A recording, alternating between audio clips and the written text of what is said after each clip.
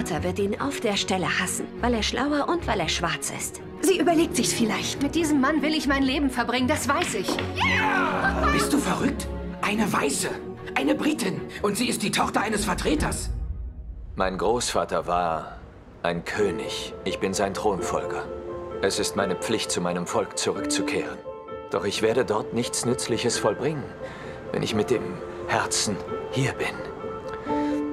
Ich repräsentiere die britische Regierung im südlichen Afrika. Apartheid, Zurück! kennen Sie den Begriff? Sollten Sie den Herrscher eines schwarzen Volkes heiraten, wären Sie verantwortlich für den Untergang des britischen Empires in Afrika. Sie sollten sich schämen.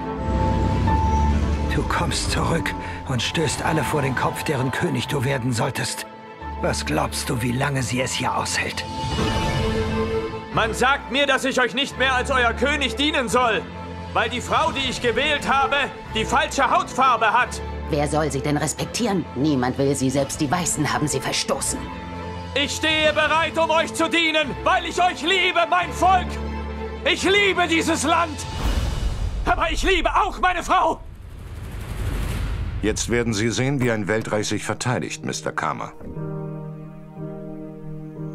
Wir haben es falsch eingeschätzt, nicht wahr? Wir sind zu dem Entschluss gelangt, Sie ins Exil zu schicken. Mein Volk daheim braucht mich. Herr Premierminister, wir müssen handeln. Kein Mensch ist frei, der nicht über sich selbst bestimmen darf. Sie ist zäher, als wir es ihr zugetraut haben.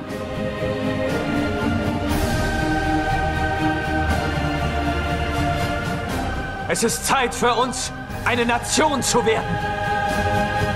Zeit, selbst zu entscheiden, wohin unser Weg führt.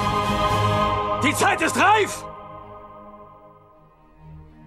Jetzt weißt du, dass nicht nur deine Schönheit mich begeistert hat. Lügner.